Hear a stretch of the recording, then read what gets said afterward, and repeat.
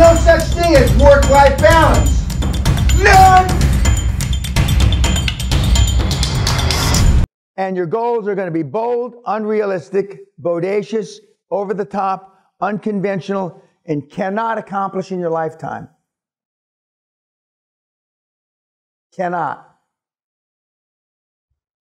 And that's why I take my hat off to President Obama, even though I don't like him, uh, because his were certainly, when he said he was going to be the first black president, when he said that when he's 18, 19 years old, he certainly fucking, it was bold, unrealistic, bodacious, over the top, unconventional, and, and, and you know, the odds of him being the first black president were absolutely close, almost zero, if they weren't zero.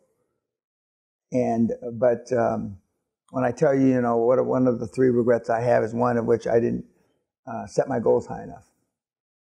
And so if I didn't set my goals high enough, you know, where does that put you? And Elon Musk wanting to be, uh, you know, he's going to die on his way to Mars or on Mars. He never talks about coming, returning from Mars, which I find interesting. The um, because you know I believe he thinks like I do. He doesn't say it as graphically. It's going to be the haves against the have-nots. It's going to be Mad Max because eventually somebody's going to push the button, and it's going to be all over but the shouting. But in, you know, hopefully that's in 200 years from now after you've raped, pillaged, and plundered your way, going through billions and you know having a good time. But it might not.